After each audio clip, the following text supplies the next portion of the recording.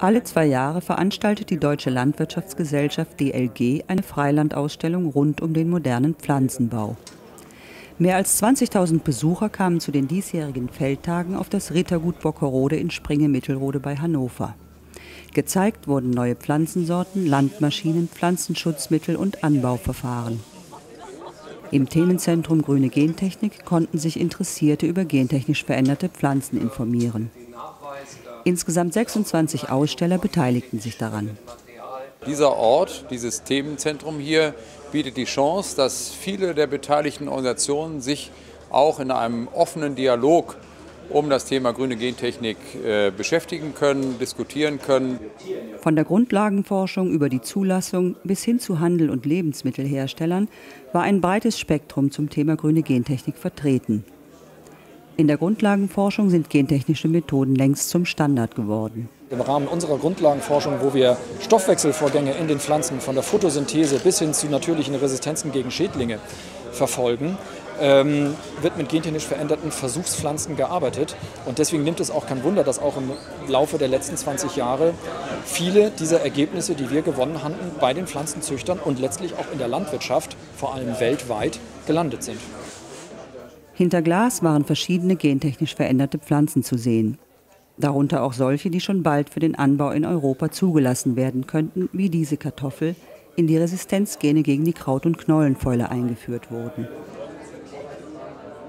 Andere Pflanzen waren eher Prototypen für mögliche zukünftige Anwendungen, wie zum Beispiel Möhren, die für Allergiker besser verträglich sein könnten.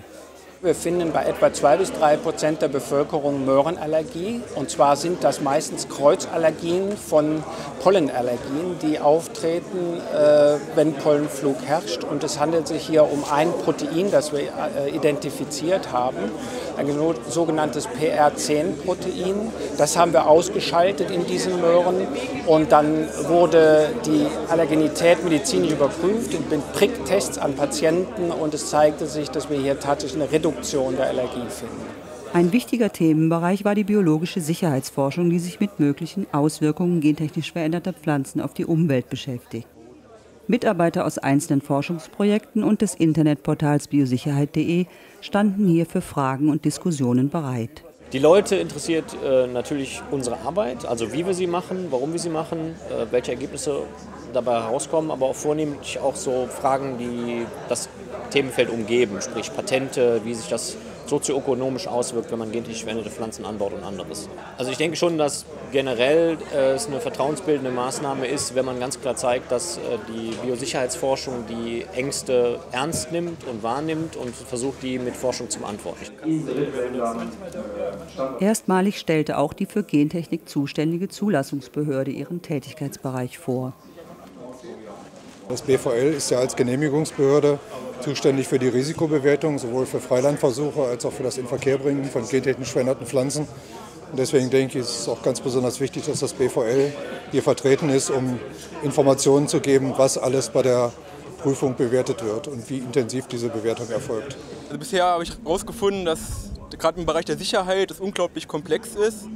Die einzelnen Interaktionen zwischen EU und Bund und den einzelnen Ministerien und ich denke auch, dass die Forschung schon bei uns weiter allmähliches fortschreitet, allerdings wir noch im Vergleich zu Amerika oder ähnlichen Ländern noch sehr viel aufzuholen haben.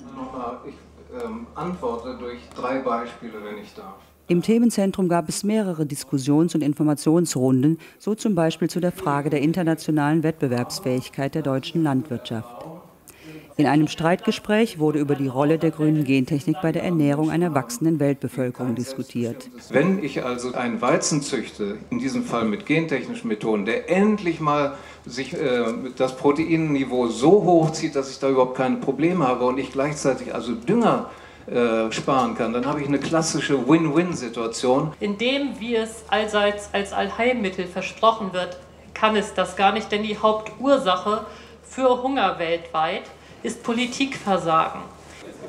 Es zeigte sich, dass der Bedarf an Diskussion und Information zu einem so kontrovers diskutierten Thema wie der grünen Gentechnik hoch ist. Das Themenzentrum bot insbesondere auch die Gelegenheit, Landwirtschaft und Forschung einander näher zu bringen. Ich glaube, es ist außerordentlich wichtig, dass Landwirte und solche, die Grundlagenforschung betreiben, hier sich austauschen.